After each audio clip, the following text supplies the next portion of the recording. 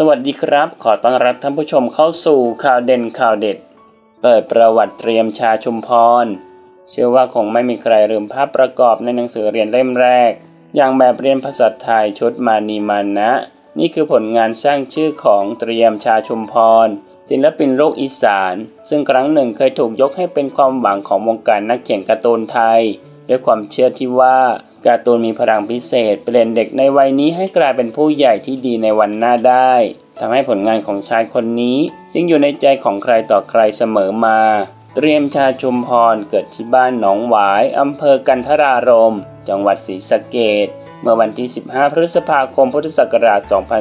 2495 ได้รับการศึกษาเบื้องต้นที่โรงเรียนบ้านหนองหวาย และไปศึกษาต่อชั้นมัธยมศึกษาที่โรงเรียน สิทธิธรรมวิทยาศิลป์อำเภอวารินชำราบจังหวัดอุบลราชธานี จนสำเร็จการศึกษาในระดับมัธยมศึกษาปีที่ 3 หรือมศ3ระหว่างที่เรียนในช่วงปลายมศ3เตรียมก็ได้รู้จักกับจุรศักดิ์อมรเวทหรือจุกเบี้ยวสกุล นักเขียนการ์ตูนชื่อดัง ซึ่งเป็นผู้อำนวยการโรงเรียนสิทธิธรรมวิทยาศิลป์ที่เขาเรียนอยู่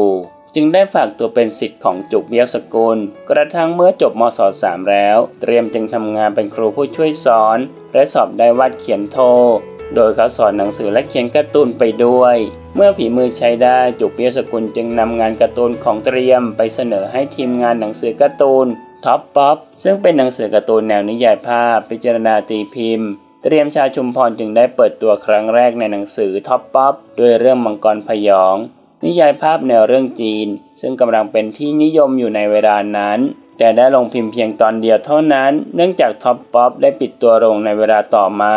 หลังจากสอนหนังสืออยู่ 2 ปี เตรียมก็เดินทางเข้ากรุงเทพและนำผลงานของเขาไปเสนอต่ออาจารย์วิริยะสิริสิงห ซึ่งขณะนั้นเป็นผู้จัดการทำนิตยสารชัยพฤกษ์วิทยาศาสตร์ ของสำนักพิมพ์ไทยวัฒนาพาณิชย์ชัยพฤกษ์การ์ตูนแห่งนี้นี่เอง ที่ศักยภาพของเตรียมได้เปล่งประกายมาอย่างเต็มที่ทำให้ฝีมือของเตรียมก้าวหน้าอย่างรวดเร็ว จนสามารถก้าวขึ้นอยู่แถวหน้าของวงการนักวาดการ์ตูนในยุคนั้นต่อมาเมื่อนิยายภาพเรื่องเพื่อนได้ตีพิมพ์ในชัยพฤกษ์การ์ตูน ชื่อเสียงของเตรียมก็ยิ่งเป็นที่รู้จักกันมากยิ่งขึ้น โดยนิยายภาพชุดนี้ มีเขาโครงมาจากเรื่องสั้นชื่อ รุ่นกระทงของมนเมทีเนื้อหาว่าด้วยเรื่องราวความสัมพันธ์ระหว่างเด็กชายชาวชนบท กับเด็กหญิงชาวกรุงที่มีโอกาสได้รู้จักกัน และได้ใช้เวลาช่วงสั้นๆ ร่วมกันท่องไปในธรรมชาติอันบริสุทธิ์ของท้องไร่ท้องนา ก่อนจะจากกันในท้ายที่สุด นับเป็นยุคทองของเตรียมอย่างแท้จริง โดยเฉพาะช่วงปี 2520ถึ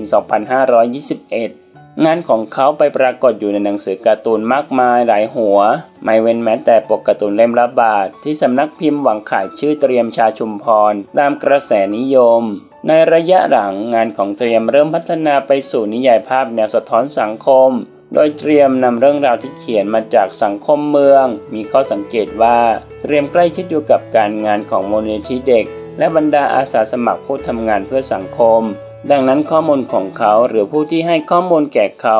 มาจากคนที่ทำงานกลุ่มนี้ ทั้งนี้นิยายภาพของเตรียมสี่เรื่องในแนวนี้ ได้แก่ ยายจ๋าตากับหลาน เพื่อนบ้านใหม่ ได้รับการรวมพิมพ์เป็นเล่ม และได้รับการยกย่องจากคณะผู้วิจัยของสกว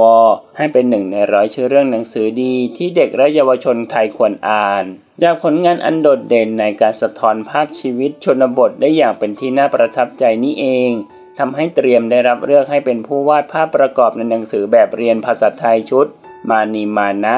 ชั้นประถมศึกษาปีที่ 1 เล่มหนึ่งและภาพประกอบในเรื่องสั้นชุดชีวิตชนบท ซึ่งเป็นหนังสือส่งเสริมการอ่านสำหรับชั้นประถมศึกษาตอนปลายของกรมวิชาการ จัดพิมพ์ครั้งแรกเมื่อปีพุทธศักราช 2521 โดยองค์การค้าของครูสภา เนื้อหาเป็นเรื่องราวการใช้ชีวิตอันรื่นเริงสดใสของบรรดาเด็กๆ ในชนบทภาคใต้จากปลายปากกาของมานพแก้วสนิท นักเขียนผู้ถนัดเรื่องราวชีวิตชนบทเป็นพิเศษ ขอขอบคุณข้อมูลจาก Daily Life Express ขอบคุณครับ